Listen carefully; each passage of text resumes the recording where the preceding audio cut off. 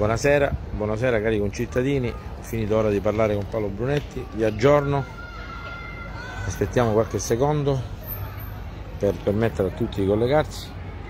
Si sente? Verificate? Si sente?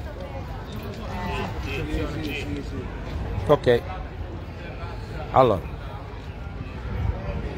sono giornate molto intense per la città, per la nostra squadra pensiero va a chi, a mio avviso, erroneamente pensa che parlare di regina significa non curarsi dei problemi della città. No, cari concittadini, la regina è un patrimonio della nostra città che serve, importantissimo, per logiche che vanno al di là della stessa squadra, dello stesso campo, dello stesso sport.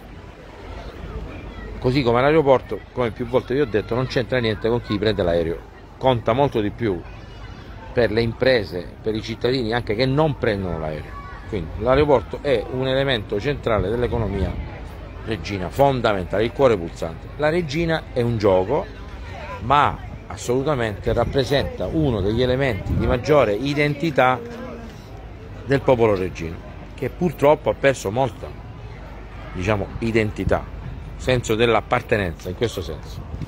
Ormai eh, siamo eh, presi di mira da tutti chi ce le dà e chi ce le promette e se non facciamo una squadra forte, non sovversiva, un esercito di regini buoni, amorevoli verso la propria città, pronti a tutto per difenderla e per costruire. Dobbiamo difendere e dobbiamo costruire con trasparenza, giustizia, legalità. Questa è la sfida. Ok? Quindi purtroppo noi ci siamo trovati con questa regina con una serie di venduti e traditori che ci sono in tutte le storie tragiche della città, ricordatevelo sempre. Dietro ogni tragedia, diciamo ogni, ogni sconfitta, ci sono i traditori che hanno tradito, che rimangono impuniti, perché ormai il, il sistema è talmente, diciamo, eh, talmente eh, dire, oleato dei traditori e dei venduti che hanno trovato sistemi di, eh, come dire, hanno eh, trovato sistemi per evitare che, di essere scoperti. E quindi se non, noi non ci pro, proponiamo di combattere con coraggio e forza per scovarli, per poi costruire, perché attenzione, noi possiamo, siamo la polizia e i carabinieri, noi siamo, dobbiamo essere cittadini che scovano i traditori e i venduti, lo, li, li denunciano non alla polizia ma alla città, in maniera tale che poi nel momento elettorale non vengono e si nascondono come i salvatori della patria mentre hanno distrutto la patria. Quindi scusate che sto divagando un pochino solo perché eh, sto aspettando un attimino, vedete i collegamenti crescono perché i cittadini in qualche modo sono interessati a questo argomento come noi e quindi vorrei eh, aspettare qualche minuto, abbiate un attimino di pazienza così vi racconto diciamo, quello che mi passa per la mente in questo momento dove eh, vedo traditori e venduti in azione. No?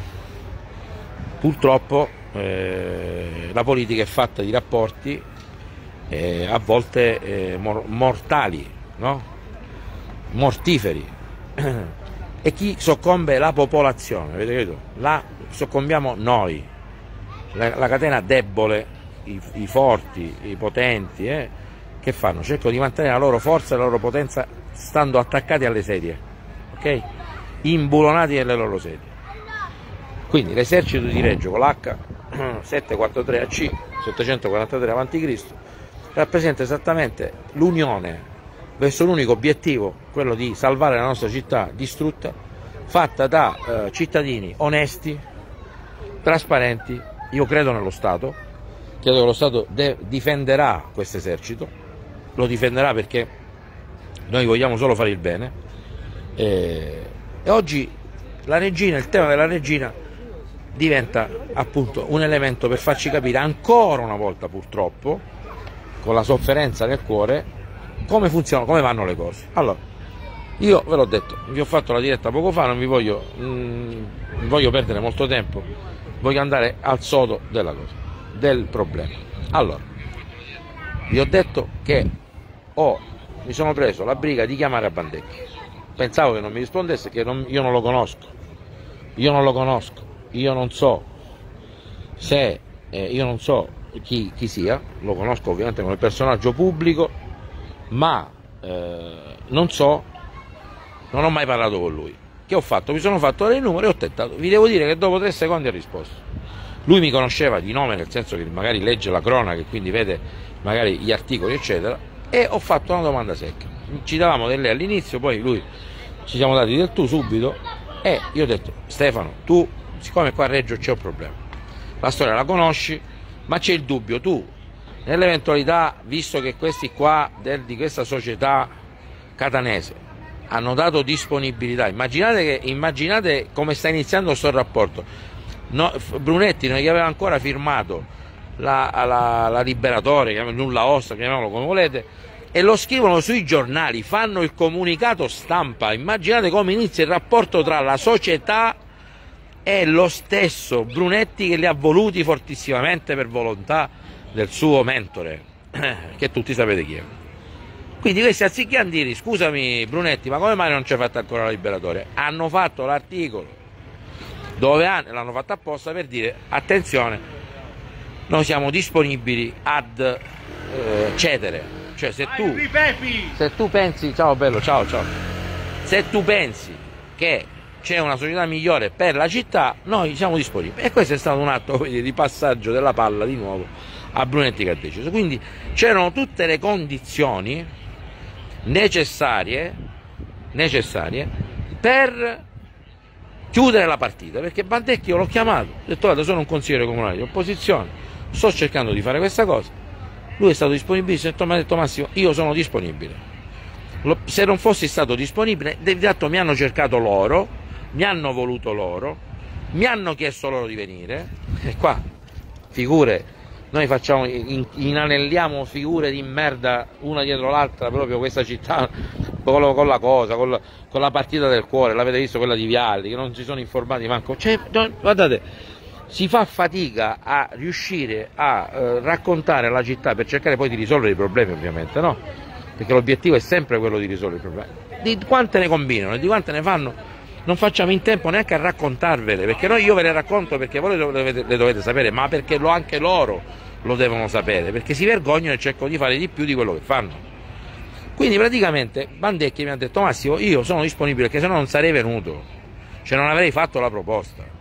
Mi hanno trattato a pesci in faccia, ma io sono ancora disponibile. Vedete di farle iscrivere a questa squadra, cioè vedere come si, se, se sono nulla osa l'hanno fatto o non l'hanno fatto, lo vogliono fare a me, lo devono fare a loro, qualcosa la devono fare quindi io ho detto mi autorizzi a dire alla città questa cosa? Detto, assolutamente sì, e mi autorizza, io ve lo sto dicendo, infatti ho detto vuoi fare un comunicato stampa? Io no, dillo tu che ti autorizza, io ve l'ho detto prima, sono salito da Paolo per chiedergli se poteva cambiare idea e lui ha detto che non vuole cambiare idea. Ha firmato già il nulla osta, il liberatorio, questi già sono a Roma, stanno andando a Roma, sono a Roma per domani per iscriversi.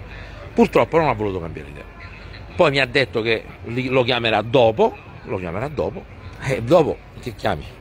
Cioè, vai, vai, a trovarlo dopo, ma per fare che cosa? Cioè, dopo che l'avete ammazzato andate a fare la visita di lutto. Dico, non lo so qual è lo scopo. Ci doveva andare prima, io ho detto Paolo, dovevi andare prima. Eh, avete capito? Dobbiamo, dovevamo andare prima.